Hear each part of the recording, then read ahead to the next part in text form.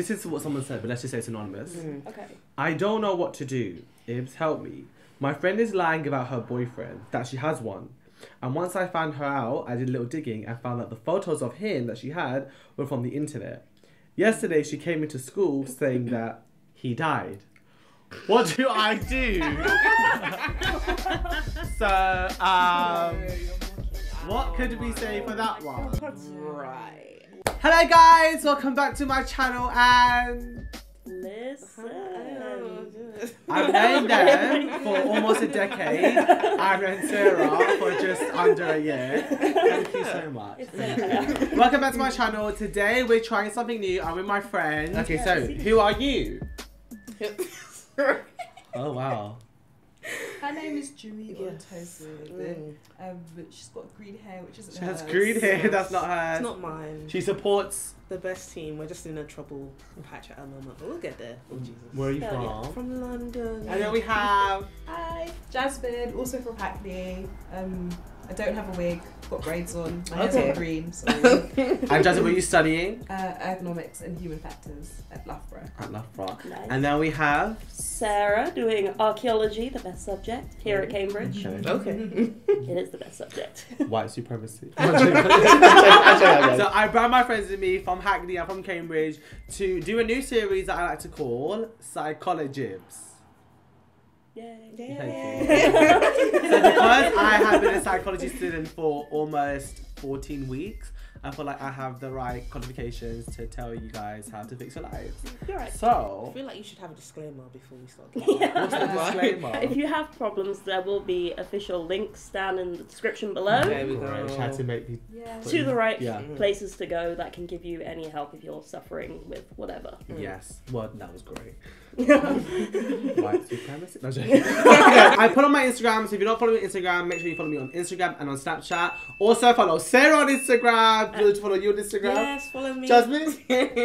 Yeah, so follow us on On Instagram. Instagram. Um, and but I'm the one that gets all your messages about psychology. So the one we got, I'm assuming is anonymous. Yeah, please keep me anonymous. I was about to bait her name. so this is what somebody said. My parents want me to do something in uni that I don't particularly enjoy doing. I like to do something completely different. In brackets, if anything, my course aspiration is better than what they want me to do. Close brackets. And every time I try to bring it up, they always get mad. I don't know what to do. I've got one year left to decide.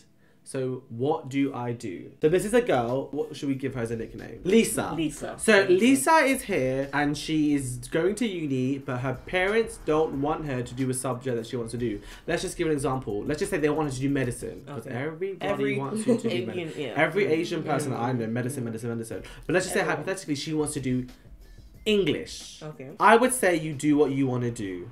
That's my initial. What's your? Okay. Yeah. I would just like make sure you do your research on the actual course, so you know that Mhm. this is for you. Obviously, you still have time to change, but as long as you know like a rough guideline. Oh, I want to go into this. I want to go into that. Then. Okay, someone Yeah. came prepared. Oh, sorry. Justin, I initial would say thoughts? do what you want to do, but also ask your parents why it is that they want you to do the course that they think is better for you. Mm. Especially if she's said that the aspirations for the for, for the, the one that Mm. she wants to do is better. is better. Better. Why, why is it they want Yeah. her to do that? Again, I would also say do what you want to do, and I'd agree. Listen to your parents just to consider why they would say that. Um, but also remember that, like you said, you only have a year. Really, you don't just have a year. You have as much time as you need. You can always not go to university straight away. You can always change your subject. Like there's a lot of things you can do. But yeah, no, like I took three years out of uh, education, and I ended up coming to Cambridge. Initially, I was going to go to Exeter. That's the end of this video. Thanks, guys. Block her on Instagram. But then I was just like, no, no, I really like archaeology. Took some extra years out. I did some archaeological digs. My dad didn't want me to do archaeology. He wanted me to do an MBA I Hi, Sarah's dad. and mm-hmm. also or physics because that's what he wished he did. My mum was always supportive, so I had kind of from two different sides. Um, but yeah, I took the years out. Now I'm here at Cambridge studying archaeology, and recently my dad actually t- said he's admitted like you know you were right you should have done what you wanted to do because my passion has opened up quite a few connections and possibilities and he's like realizes it's serious i can do well with archaeology I think because you're happy. Like Yeah. she, this bitch, she loves her archaeology. Yeah. Like I got her a T-shirt that said "Don't fuck with me, I'm archaeology." an I'm an archaeologist." archaeologist. Yeah. Like when I was young, Mm. they always said be a doctor. Yeah. Be a doctor, be a doctor. Like they were like, oh, Khadijah's gonna be a teacher, Usman's gonna be a banker, and you're gonna be a doctor.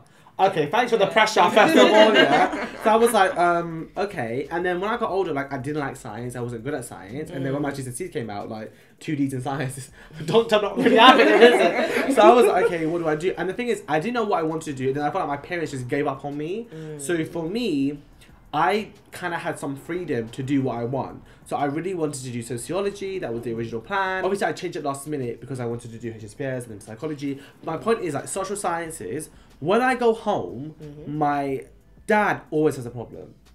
And he had a problem more with psychology than sociology. I feel mm. like there's a lot of cultural aspects of it as well. Like psychology isn't a thing that's been around in hundreds and hundreds and hundreds of years. Some people don't even believe in it at all. So I feel like for me it was like, okay, do what you want to do, which was psychology, but also like try to prove to your family that is the subject that's of Worthwhile. value. Yeah. Yeah. But I'm not gonna lie, like, that's kind of hard to do because it's like um, it's kind of broad and it's hard and they always see me struggle. But I feel like for me, like I'm in a position where like my family are happy because I go to Cambridge. Yeah. But doing psychology, they're a bit like, where is that gonna get you? So I feel like I just have to like show them, like, Yeah. one day, one Seeing day. believing Yeah. sometimes, Yes, isn't it? exactly. Yeah, Yeah. but I believe that it's gonna give me that because I just know, like, like you said, you have connections. Yeah. I mean, I've spoken to people, and I feel like it's such a broad Exactly. degree where I'm happy doing it, and like Yeah. because I'm happy, I like to study for it. So I hope like to think I'll get a decent grade, yeah, that's the and like I learn a lot in it. I mean, I won't be as rich as a doctor, but at least I won't be stressful. Yeah, true. I oh, can't Yeah. deal with blood. When I we mean- went to the brain, we went to the lab, and I had to go to the mm. brain.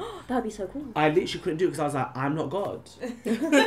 Yeah. I, who are we to play God? At first, she was happy that she was going to go to uni. She's like, okay, you're gonna, you know, continue with your education or whatever. The problem she now has is because I didn't like enjoy the course I did, so Which therefore, was- sports science personal trainer at Bevshire. Don't go to that uni. Oh, oh, come on. Hey. You gotta be one. You gotta be one. I'm gonna come Exeter, so Exeter, Bedfordshire. Just Oh. a Oh, wow, of let me warning. look at it. And now, like that, I'm on a gap here. She's now like, oh, pick something that you, that she thinks I'm going to excel at, like, oh, do ICT or something like that. And I have to explain. to You her, would like, excel at ICT. I, psh, can you Jump imagine?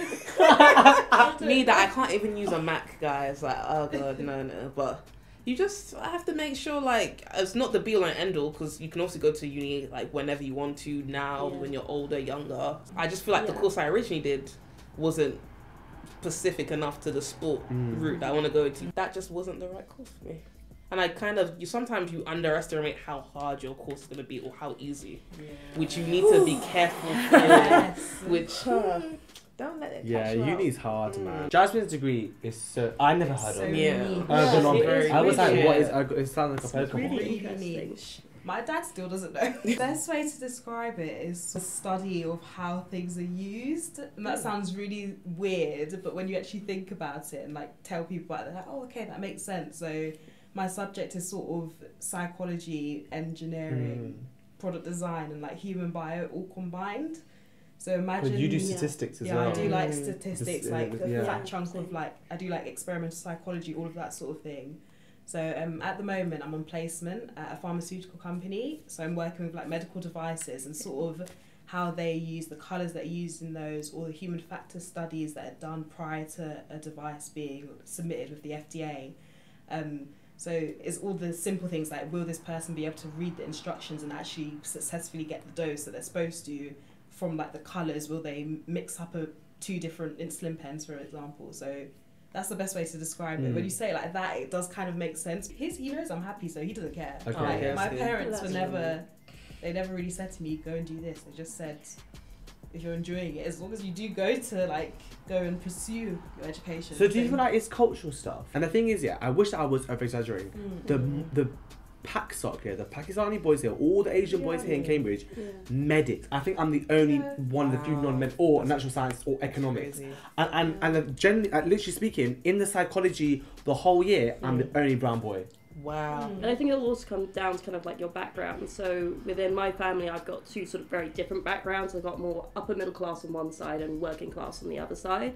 So for some of them, it's like, oh, you're doing, you're at Cambridge. That's amazing. Well done. Who says that? Like the lower. That's that's on the working Yeah. class side. Mm. But then on the upper middle class side, it was a bit more like, oh, you're at Cambridge studying what? And it'd be like, oh, archaeology. Said, oh, well, this person's doing engineering, and Oh. there was still a little bit. So I think that also completely depends on the background you have and again the support you will get, which is mm-hmm. I think why it's also very important to realize when you're hearing things from your family. Although it's important to consider what they're saying because obviously they, they love you probably and are giving you advice from what they've learned. Always consider outside sources, especially now with like the new media. Um, I mean, look, you got mm. Ibz here studying psychology mm. At Cambridge, so Archaeology on her Instagram account.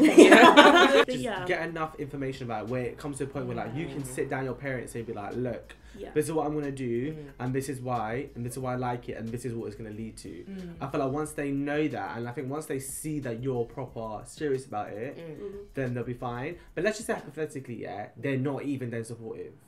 Mm. What if you got them like weird anti-parents who are just like, do medicine or I'm gonna send you to freaking Pakistan. Do what you need Yeah, to do. you need to- to- yeah.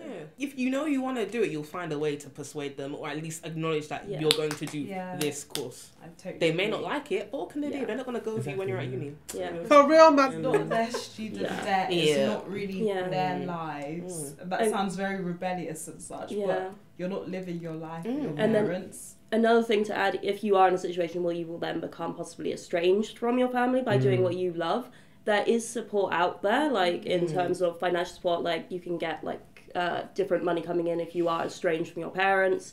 Unfortunately, there will be an investigation into that, but if you're worried about that side of things, there is outside support that you can Mm. utilize, which again, if you sort of do the research online, the information's all out there, and hopefully also you'll have friends who can support you, like. Maybe back in the day when you were doing a psychology degree, like then you realized that your friend Barry, he did psychology, he went to go work in Lidl, yeah? Okay, fine. But Lidl, they're giving you decent pay. That's Yeah. true. They- But that's a different time. Like nowadays, you know what I mean? If you take it more Mm. seriously, and also like if Yeah. you get a good grade in any degree, I Mhm. feel like that will kind of benefit you a lot. And that's why going back to your original point, like Mm. uni's hard. yeah, uni is Mhm. hard. Full stop. Like Yeah. whatever Yes. course you do is hard. Like you will still have moments where you're just going to be like, oh, why am I doing this? Oh, because that's just the nature of the beast. Because you are going to be studying and be learning a lot, and sometimes you won't be having, you know, as much free time as you did before. And also for a lot of people, obviously, the whole experience of uni is being away from their family and all these other things. So it's going to be hard for those reasons, but it definitely helps if you love your subject, and that can definitely give you that sort of motivation. Whenever I feel overwhelmed, I always look Yeah. back at my personal statement, or when I was Yeah. writing it, when I was like, I love this and this, and I want to Yeah. do this and this, and I mm. love Yeah. psychology or I love sociology, every single thing about it. Because I feel like when you come to uni, there's so much more. Like, as much as I wish your pa- like, that's not the thing your parents should be stressing about. Really and mm. truly, it's like Yeah. not just your degree. Like, there's so much more Yeah. that that really needs to be deep. But I feel Yeah. like whenever that happens. Keep thinking about as to why you love your subject. Mhm. So Lisa, what would you say, Lisa? oh, This is um, the girl. Oh, okay. So, Lisa, just sit them down. Make sure you have your points about your uni. As we've all mentioned, like why do you like it? Why do you want to go here? At least if they have that secured in their like mindset, they'll be like, okay, may not like the uni, may not like the course, but I know that you're happy about it. Yeah. So this will give me confidence that you're gonna thrive no matter what. What would you say to Lisa? The same. Similar what you, what you said as well. Yeah, I'd say the same. Just you know, be certain with it. Go through, do a pros and cons list. Show them that you're serious. Um, and if you are worrying yourself about it, maybe take a few years out. You can work. You can kind of get Mm. experience relating we to did. it. Mm. Um, there are so many options, and just you know, whatever Homer and Marge says, just. And also, like, to listen to if you have a sibling, maybe they did something worse. Yeah. So, for example, mum, I'm going to do journalism at the University of Bedfordshire, but Khadijah's pregnant. Then just walk out. Don't do that. Uh, Don't do that. Bye, bitch! That's your child's problem, not me. Or just be like, yeah, like, oh, they took drugs, or they're selling drugs. Bye. Oh wow. Okay. You're not the stress That's anymore. a catty way to go. So Lisa, good luck with it all. If it doesn't work out, don't blame us. Don't like we for said in the disclaimer, we're not freaking real psychologists. we're not involved. But we love you. We wish you good luck. Okay, Yeah. bye guys. Oh, and make sure you like this. If they get it to 3,000 likes, Yeah. then we'll do this again. Okay. Will you guys do it again? Yeah. Okay, take care guys. Bye. Bye. Mwah.